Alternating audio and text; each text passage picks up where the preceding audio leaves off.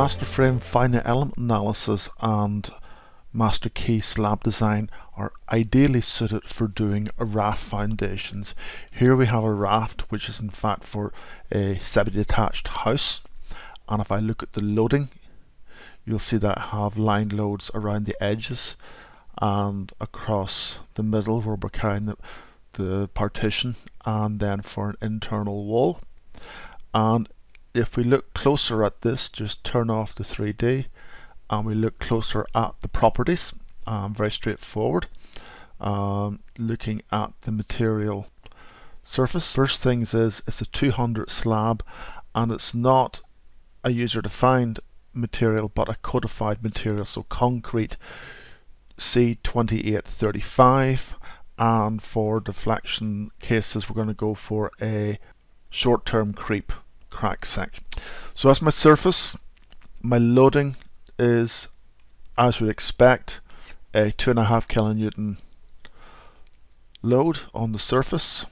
And then we have line loads for dead and live on all the members or all the line loads.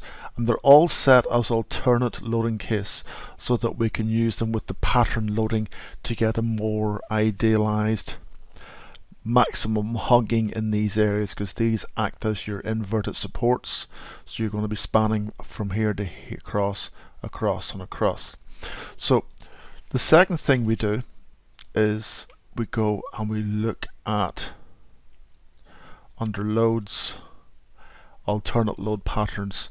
So because it's really one-dimensional we will only look at these two and then these two as a pattern which means we can get a max, min, max, min. And the max here with the two mins gives me the maximum in our case hugging which would normally think of as sagging moment on the slab. Because remember it's in reverse. And the last thing we need is the supports so we have two static supports one there and one over there to stop it moving sideways or twisting horizontally. We've no vertical restraints on this slab. All the restraints are on the surface. So on the surface we've gone for the whole surface to have a vertical spring support and we're using a subgrade modulus of around 10,000 which is either a loose sand or a soft clay. So we're going to go for that value of subgrade modulus.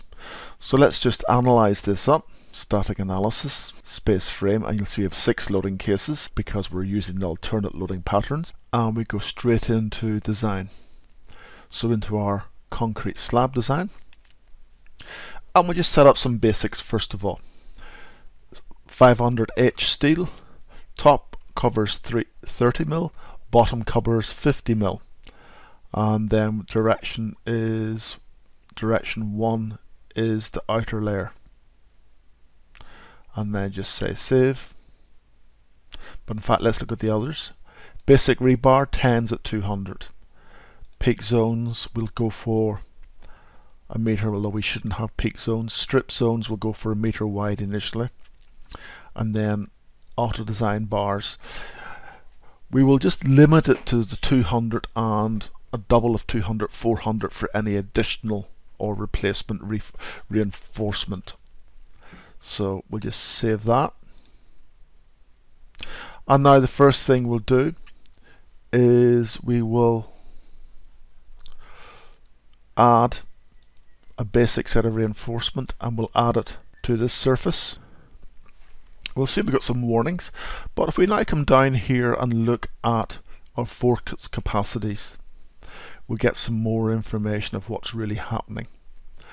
And I'll come down here and say give me the force capacities, the areas required for the top XX, so that's in that direction. And it's all pretty small. We get away with probably 252 uh, except for one or two areas. Look at the top. YY and we're down to 300 and so we'd probably want to put in a 393 there on the top in the Y. That's that vertical direction. So no reason why to have different in each direction. Make them 10s at 200 looking at the bottom again we have very little in the Y XX direction the horizontal and in the YY direction we have these areas which we may need to enhance above the 393. So we'll just put down a 393 mesh top and bottom. So let's get back to unities. And as we can see, our basic is tens and tens. So what we can now do is say, how have we done? So let's go and look at the hugging and we'll see that we're all below 1 and the hugging Y is again all below 1 so the 10s at 200 on the top is satisfactory. Let's look at our bottom reinforcement and we'll see that in the XX this horizontal direction it's not important.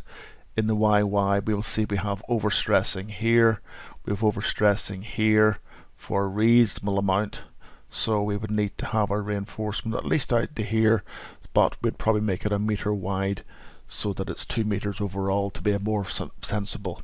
So what we need to do is just come along up to the top and add in a strip of reinforcement. So I'm going to add a strip and I'm going to add the strip as a strip line and I'm going to draw it. It needs to know the surface first that surface. So I'm now going to draw it from here and we'll just do it over the full length to here. And the default is one meter. So we could take that down a bit and make it 750 each side, which gives us 1500. So if I just grab the middle and come down to 750 and take this and up to 750 and I do another draw and redraw and nothing happening. And the reason that nothing is happening is the default is actually for top steel and in fact we want this to be bottom steel so we'll change that to bottom and now everything's whiting out and we'll see that we've put in parallel to the strip and we actually want to go again perpendicular to the strip and that now gives us the additional strength we need. And we can see that tens is a lot. So we could either go for possibly tens at 400 so every other bar we put an extra bar in. And that's coming out sound 10 additional tens every 400 and now we repeat the same over here and here. So we just come up we add another strip in. We choose the surface. We ask to draw the component. There we are. And we do it across here. And we'd probably just stretch it a bit. By say a meter out just to cover this whole return.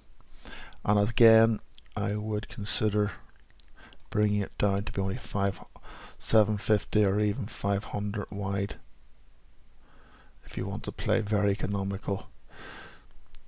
One meter long bars and again I would suspect that we would certainly again be bottom steel perpendicular and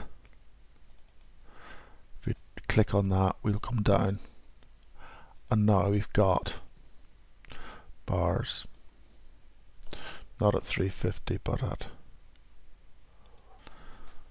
and that's just enough to reinforce that. And finally we add in the third strip associated with this draw from there to there. Again we'll extend it that one meter and we'll just reduce it down to half a meter either side. Sorry. There we go. half meter side. And we'll just check the rebar. Bottom perpendicular.